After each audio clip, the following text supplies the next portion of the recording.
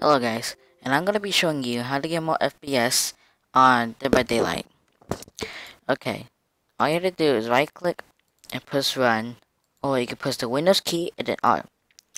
Well, and then you put percent app data percent enter, and then you put app data local, and then try to find Dead by Daylight, saved, config, Windows not editor, and game user settings.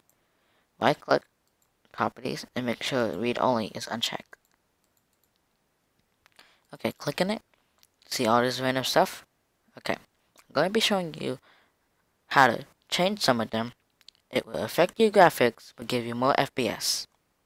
Okay, this one used to be 100. So I centered it out and tweaked it and put it to 5. All of these need to be 0 and screen scale for his Windows mode used to be 65 or 100. As I did to this one, I tweaked it and put it to 30. It can only go to 65 if you try to lower it in the game user settings. But we can lower it more by using 30. Make sure auto adjust is on false and screen resolution is like is on 30 and make sure vsync is on false. And that is it. That's all you need to do.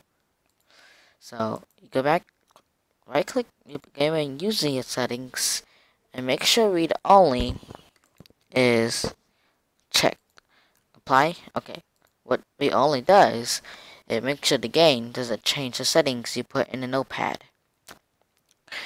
And that's kind of confusing but it's gonna be not confusing and more you know.